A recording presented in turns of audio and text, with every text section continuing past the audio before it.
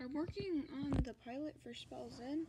I got this comic book thing kit, so now I'm going to be making the Spells In pilot with this.